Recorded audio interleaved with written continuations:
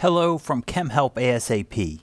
Let's discuss what mass spectrometry is and how mass spectrometry is often used in organic chemistry. What is mass spectrometry?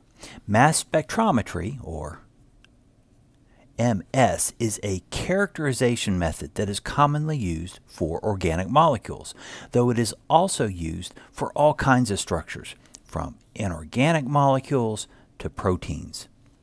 Mass spectrometry is the technique, and a mass spectrum is the data obtained through mass spectrometry. MS is just one of many characterization methods.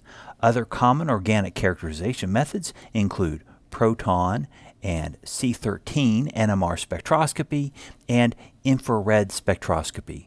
Of course, organic molecules can also be analyzed and characterized through their physicochemical properties, properties like melting point, physical appearance, boiling point density, etc. What kind of information can be obtained through mass spectrometry? There are two main pieces of information. First is the mass of a molecule.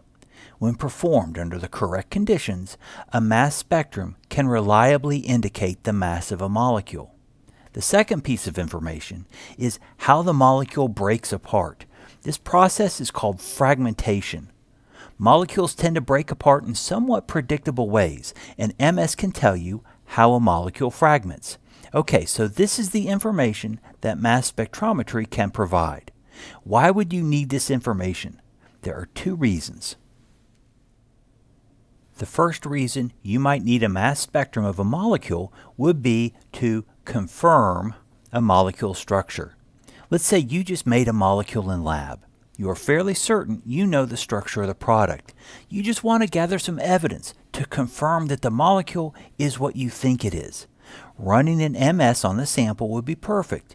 You can make sure that the mass of the molecule matches your expectations.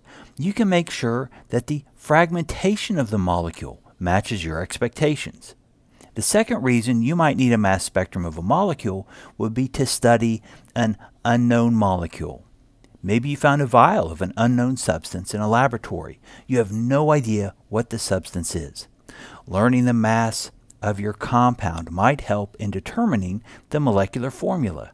And learning how your molecule breaks apart might give you enough information to determine how the parts of the molecule are connected, the structure of the molecule. That's pretty useful.